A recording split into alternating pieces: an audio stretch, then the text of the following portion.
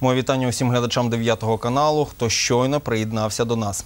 Сьогодні наш гість дуже цікавий. Його фонд Рідна країна спрямовує свою діяльність на сприяння розвитку культури, в тому числі на реалізацію програм національно-культурного розвитку, на охорону і збереження культурної спадщини, історико-культурного середовища, пам'яток історії та культури, на сприяння духовному пробудженню та моральному відродженню людей.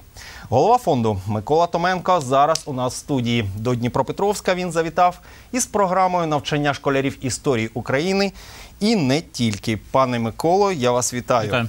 Ну, мабуть, перше запитання більш логічне, ніж про візит. Ще 29 березня 2016-го ви були народним обранцем, а зараз ні. Прокоментуйте, будь ласка.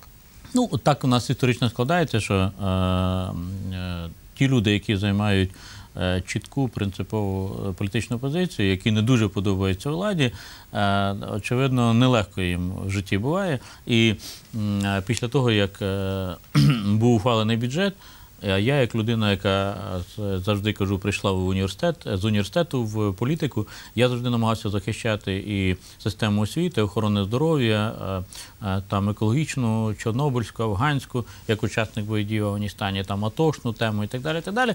Значить, не вдалося мені переконати е, наших очільників держави, що все-таки, е, крім е, загальної патріотичної риторики, що треба е, кричати Слава Україні, значить біля прапора стояти, треба все-таки про людей трошки думати і так далі. І не можна е, бюджет будувати на тому принципі, що пенсіонер виживе за 1074 гривень, а е, робітник виживе за мінімальну зарплату 1378 гривень.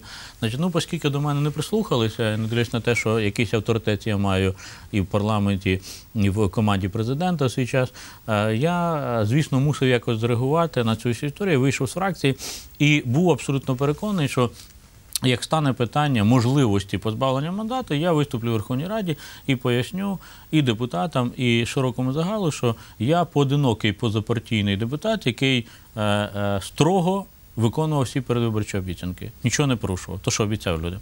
Але було зрозуміло, що якби було голосування в Верховній Раді, ніколи б 226 депутатів не проголосували за позбавлення мандату. Тому відбулося е, таємно закрите засідання з'їзду і е, БПП, потім закрите засідання протягом однієї хвилини і 17 секунд, там чи скільки ЦВК. Значить, і от було проголосовано, що усіх е, депутатів. Які не погоджуються з генеральною лінією партії, Партії. там президентом, урядом, значить, і з ким там, да, і з чим на світі, значить, в них забирають мандат і е, позбавляти можливості, значить, їм висловлювати свою точку зору. Ну, сталося так і сталося. Я трагедії не бачу е, в цьому плані, тому що практично я зараз в своїй роботі нічим відрізняюсь від народного депутата. Єдине, що я тільки е, не заходжу в, сесійний зал і кнопки не натискаю, значить, по смс-ках, бо там присилають, як за кого голосувати, щоб ви не перепутали. Ну, є депутати, які погано читають, то тим, значить, просто ушно кажуть, як треба голосувати. А таких багато? Що е, багато? Ви знаєте, що у нас кілька десятків людей не мають вищої освіти депутатів. Є різні, є, наприклад, водії когось, є там якісь гопники, значить, які допомагали базари захоплювати, є там коханки, якісь друзі. Ну, в принципі, нічого не міняється. Що чи в часи Януковича, що зараз, е, принцип формування списків приблизно одинаковий був, був і залишається. Але я намагався е, всіляко переконати те, що парламент це якби ну вище ще не буває в парламентсько-президентській республіки. До речі, мій законопроект так і не проголосований, щоб все-таки в Верховну Раду приходили люди як мінімум з вищою освітою. Ну щоб можна було закон знати, що зліва направо чи справа наліво його читати. Але поки що мода на те, що парламент це не місце для прийняття рішення. Це місце для натискування кнопок, і от сьогоднішнє, до речі, голосування е, за уряд пакетами значить, свідчить е, про те, що е, в парламенті ну, людей з своєю позицією, самостійною позицією, як я, умовно кажучи, їх не дуже там люблять і шанують.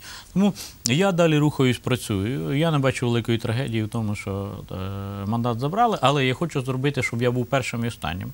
Тобто я потихеньку йду по системі українського судочинства. Тут мені відмовлять, зрозуміло. Значить, але в е, Європейському суді ну, однозначно я виграю, тому що є три рішення Венеціанської комісії, парламентської асамблеї, Ради Європи, що, умовно кажучи, якщо люди голосують, то не може політбюро е, забрати е, у вас мандат, не слухаючи, що ви скажете. Тому Я думаю, що але це відбудеться вже, напевно, буде новий склад Верховної Ради. Ви ж розумієте, що за все. е, це часу достатньо багато. Тому зараз я компенсовую або якісь речі, які в мене не бракувало часу громадське, намагаюся зреалізувати. От ви щойно е, протягом вчорашнього і сьогоднішнього дня я працював в Дніпропетровську, і дуже багато моїх напрацювань, які я зробив для пропагування української історії, конституційного права, української культури, е, української мови, без е, не, не, не згідно указу президента, що завтрашнього дня треба любити Україну і кричати Слава Україна там, де треба, не треба.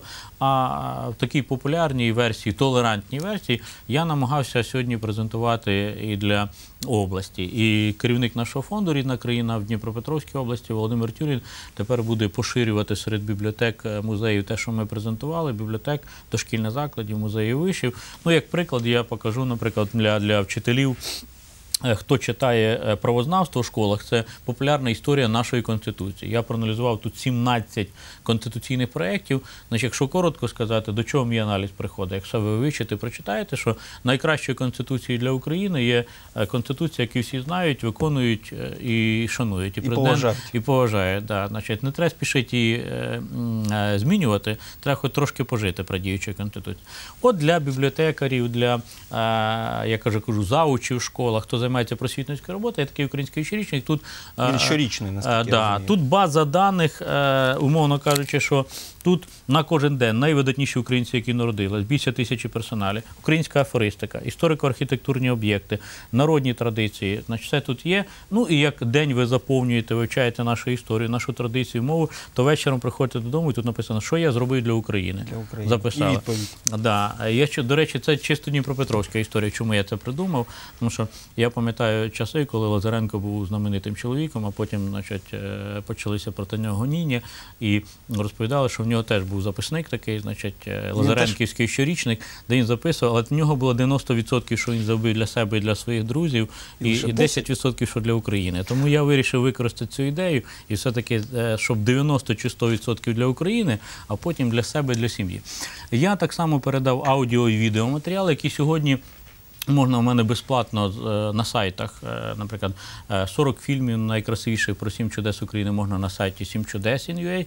Це, е, наприклад, аудіо, відеоматеріали для е, дошкільництва, для викладання української мови літератури, де живі голоси наших класиків, можна скачати безплатно на сайті Рідна країна. Тобто я те, що напрацював за останні роки, би хочу передати, щоб це використовували, тому що от мої поїздки, зокрема, я нещодавно повернувся в Донецькій області, Одеської області.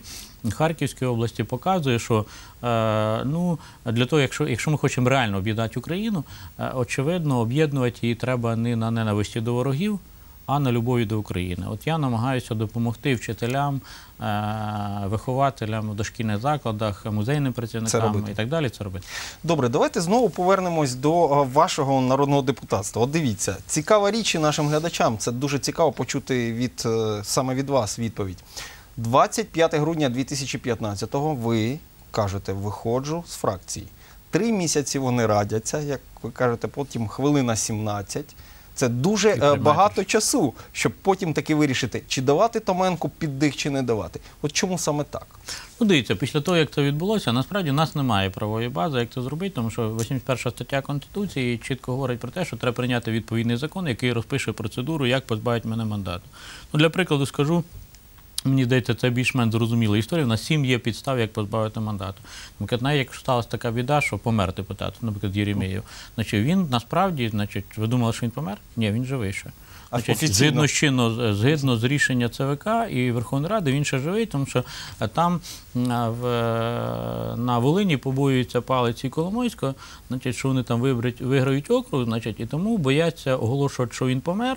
Значить, а для того, щоб е, е, е, оголосити там вибори, треба, щоб Центральна виборча комісія Визнати. прийняла рішення, а потім Верховна Рада повинна проголосувати, бо народний депутат Єремєєв, як і Томенко, до речі, інші приймали присягу. Тобто треба спочатку обговорити це питання і проголосувати. Ми, да, друзі, так сталося, що він помер, значить, це трагічна історія, значить, пом'янемо його і так далі. І проголосуємо, що вже це вільне місце. Оскільки бояться, що там влада програє, то він ще живий з серпня місяця. Значить, і маса інших речей. Тобто, треба відповідна процедура зводиться до того, що в моєму випадку треба було це було говорити в Верховній Раді і проголосувати. Власне, до цього я готувався. Але мені різні ходаки приходили і каже, Коля, ти розумієш, що аби ти прийшов до президента, сказав, що ну да, були ошибки, значить, і так далі. Ну, А я... він чекав? Чекав, да, що я прийду, значить, давай замиримося, давай скажемо, що да, бюджет ганебний, злочинний, але значить, президент хороший у нас, чи хтось там і так далі. І так далі. Я сказав, друзі, ну як би як, як класик казав, що значить, я свої е, позиції не міняю. І е, От, значить, ця вся торгівля е, е, нічим не закінчилась. І тут ще інша історія. І треба ж ліпити коаліцію, а в коаліції ніхто не хоче йти. І кожний депутат на вагу золота. Значить, і виходить, що значить, я не буду е, голосувати і за створення нової коаліції, і за тимчасовий уряд якийсь там і так далі. І, так далі. Значить, і тому е, один голос може визначити долю країни. І тому було прийнято рішення, чорт з ним, значить, ми живемо в країні і іменем революції, значить, іменем там, і Вирішуємо так питання. далі. Да, вирішуємо питання. І тому з'їзд якийсь там підвалі в інституті глибинної е, психології, унікальне місце, вони Фрейда вивчають. Значить, ви знаєте, Фрейд взагалі займався е, неврозами, історією, написав дослідження про історію і так далі. От якби прикрившись імені Зигмунда Фрейда, значить, мене позбавили Вирішили. мандат, вирішили. А ЦВК забрали, я один член ЦВК сказав, Миколаївич, я тебе прошу тільки прізвище не я в лікарні е, лікуюся, мені дзвонять. Якщо ви через півгодини не приїдете, вам капець і смерть наступить, тому що лічно президент сказав, треба приїхати проголосувати. Поки ми кинулися, там юристи, адвокати, журналісти, ми доїхали, рішення вже було прийнято. Тобто, е, от виникла така історія. Тому Скажите, э, восточная притча про Хаджуна Средина и про Ослика, когда тот взял в аренду у Патишаха на долгие годы. И многие крутили у виска, зачем это тебе надо. Почему перешел на русский? Потому что ну так более красочно. М, На ваш взгляд, вот то, что сейчас происходит, вам не напоминает ситуацию, что то ли Ослик захромает, то ли с Патишахом что-то произойдет? Если вот так э, образно говорить, то Украина, на ваш взгляд, как Ослик, э, хромает или уже не дышит? Е, Я думаю, що ми, д- м'яко кажучи, не в простій ситуації. Вона пов'язана з тим, що влада, от я, до речі, от, е, сьогодні виступав, і я говорив, що е, ну, якби ментально я не, не бачу суттєвої відмінності від е, часів Януковича, ну, якби в ментальному сенсі, е, е, зараз часів Порошенка, тому що люди засідлені владою і тим, що ніби вони фантастично популярні, такі важливі люди і так далі. Значить, що, що в суспільстві відбувається? Можливо, моя відмінність як людина, яка і читає зараз лекції, і ем, дивиться на соціологію, тобто я розумію, що відбувається фантастичне розчарування. Що е, ми живемо в двох країнах, країна, країні людей, е, абсолютно більшості, які виживають і не знають, що буде завтра. Значить, і, і в країні е, е, там невеликої кількості керівників їхні друзі, які говорять, так ми з кожним днем все ближче до Європейського Союзу, і от ми, значить, і так далі, і так далі. Значить, і нам треба бути більшими патріотами. Тобто, наскільки от відбулося це розходження між тими очікуваннями і, і реаліями, що е, я розумію, що дострокові вибори зараз перенесені фактом створення, як я називаю, тимчасового уряду, тимчасової коаліції, але насправді не знятий ключовий конфлікт. Тобто суспільство.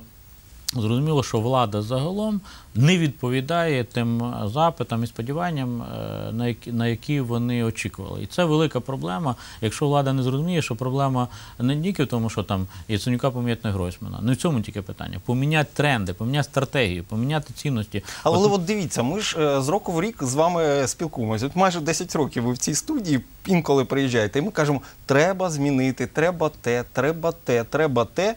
2016, квітень місяць. І що? Ну, очевидно, є якісь, значить, є карма, якась чи ментальна така штука, що поки ви, наприклад, кандидат президенти, наприклад, ви кажете Томенко, що давай, друже, підпишемо угоду про те, як ми будемо будувати Україну. Я підписую угоду, значить, допомагаю одному президенту, іншому допомагаю. Як тільки він там день, місяць, рік, ну він стає якби типовим президентом, який ну, якби, забуває про те, що він робив, обіцяв і так далі. І, на жаль, це повторюється з, з каденції в каденцію, і це сумна історія. Тобто, очевидно, треба думати про якісь більш Ну, якби не сподіватися, що президент, чи прем'єр-міністр, чи голова Верховної Ради, очевидно, або ну, якби паралельним шляхом іти. От я сьогодні в Дніпропетровську говорив про те, що я є прихильник невеличких проєктів. Давайте зробимо в місті щось, давайте зробимо в області якийсь успішний проєкт. Значить, через ці успішні проєкти знизу будемо якби піддавлювати Київ в частині необхідності зміни. Чим менше буде а, в нас залежності від президента, уряду чи Верховної Ради, тим швидше ми будемо змінювати країну. Очевидно, ідея, що е, ми нічого не будемо робити, а чесний, добрий цар, президент чи, чи е, англомовний прем'єр-міністр, чи там ще хтось змінить країну. На жаль, потерпіли вони краху. Чи іноземці приїдуть, побратими, от з Грузії, наприклад. Ну, грузини продвинуті чуваки, ми українці темні люди, значить, і далі. А грузини, от вони, значить, зроблять нас щасливими. Ну не працює ця схема. Е, Крім нас, більш нема кому зробити країну е, чесною, успішною і ефективною. Тому, е, очевидно, треба змінювати встановлювати і сегментно, і знизу до гори, а не чекати, щоб з Києва це прийде. І напевно це один із висновків тому, що е, треба е, не по світах їздити і шукати, хто врятує Україну, а шукати і е, витягувати тих людей, успішних людей в Україні, які щось е, довели, що вони можуть це зробити. Хай вони він успішний мер, він успішний роботодавець, бізнесмен, він успішний там ще хтось і так далі. Краще таку людину залучити, яка знає це все робити, чим як в історії от теперішнім урядом я проаналізував, там е, третина міністрів взагалі ніколи не займалася тією сферою, на яку її призначили. От виявляєте ситуацію, що, наприклад, ви будете займатися екологією, ви взагалі екологією ніколи не займалися. Значить, ну вивчите, а що таке? Значить, ви універс... універсальний міністр, да, вивчите. Ви ніколи не займалися там. Умовно кажучи, соціальною політикою на державному рівні. Вивчите, ви ніколи не займалися ще чим. Вивчите, а ви взагалі, значить, а по, по відбудові Донбасу взагалі дві посади придумали, тому що і одна фінансово-політична група думає, як красти гроші з відбудови Донбасу, і друга група. Тому вирішили одного віце-прем'єра зробити і одного міністра, щоб він гроші освоював. Тому, якби, е, е, якщо влада думає, що е, методи там, умовно кажучи, часів Кучми чи е, е, Януковича можна повторити, тільки їх при- примазати, значить, ну, якби синьо, синьо-жовтою стрічкою, значить, е, при- прикласти, да? то е, вони помирають. Тому що суспільство в кінці кінців якби дуже швидко на це реагує. І от я сьогодні, е, презентуючи свої проекти, своїм колегам сказав, що ніхто не придумав нічого іншого, як професійний підхід до питання і е, ну, не грузинів шукати, ні американців шукати, ні ще когось шукати, а треба шукати успішних людей в Україні, які зробили і можуть сказати, друзі, от ми 20 років я працював і так далі. І не обов'язково молодий або старший, не обов'язково жінка чи чоловік, не обов'язково там, е, там єврей чи українець. Е, обов'язково є професійний, І чесний і, успішний. і успішний чоловік. Тому що просто що в теорії я готовий очолювати будь-що. Ну, знаєте, ну ці універсальні міністри, вони ж е, класика е, радянського кіно показувала, да, що і м'ясокомбінат може, і пивзавод, і все на світі. Значить, от таке враження, що в нас як сьогодні. Говорить, я готовий будь-яке міністерство очолити, тому що я був менеджером там якогось олігарха. Ну, скажіть, будь ласка, е, 2016 це дійсно рік важкий і переламний для України? Важкий. Чи, чи все ж таки ми вже е, пройшли той переламний етап? Ну, чи дивіться. Взагалі ще Ні, важкий, ну невідомо, коли перелом настав, ну він теж важкий. Рік буде 16, зрозуміло, тому що я от проаналізував е, склад уряду. Наприклад, в мене нема сентиментів великих до того, тому що нічого не змінилося. Ну, змінили Яценюка. А е, що, то, е, що Гройсман сказав щось інше, він сказав, що як кажуть наші керівники нашої держави, експерти Міжнародного валютного фонду, і як каже направляюча сила наша, значить, МВФ, значить, ми повинні і далі у людей е, тарифи збільшувати, е, зарплати і пенсії заморожувати, а значить, там щось робити. У мене питання, а що це щось зміни? Ну яка різниця, що прізвище Яценюк поміняли на Гройсман? Тобто нічого це не міняє. Тобто, от е, е, я коли говорив, що я, наприклад, готовий підтримати будь-який уряд, якщо я побачу стратегію і програму діяльності уряду, якщо там буде написано, що ми інвестуємо е, в розвиток української там національної економіки, що ми підтримуємо роботодавців, що ми створюємо не зерно продаємо, готову продукцію продаємо, не метал продаємо, готову продукцію продаємо, не е, дерево продаємо. До речі, зараз я прочитав, що чергове Міністерство економіки подало е, пропозицію на скасування мого закону про мораторії на е, вивезення лісу кругляку, тому що поляки і румуни ображені. Значить, вони не хочуть зробити меблі з свого лісу, бо їм жалко. Вони з українського лісу роблять. І Міністерство економіки захищає румунську економіку польську, а не українську. ані українські. Да, тому е, це перезавантаження стратегічно не відбулося. Просто людей поміняли. І е, е, коли це може відбутись, важко сказати. Ну, якби... Але хочеться, щоб це сталося найближчим часом. Пане Миколо, я дуже дякую вам, що ви знайшли змогу і завітали до Дніпропетровська, особисто до 9 каналу. Ставлю три крапки. Наша розмова відбудеться найближчим часом, коли будете у Дніпропетровську і захочете до нас завітати.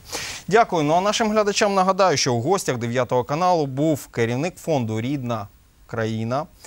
Людина, яка дивиться людям прямо в очі, знаний політик в Україні, донедавна народний депутат України Микола Томенко. Я дякую всім за увагу. Пильнуйте себе з повагою, ваш Артур Терещенко.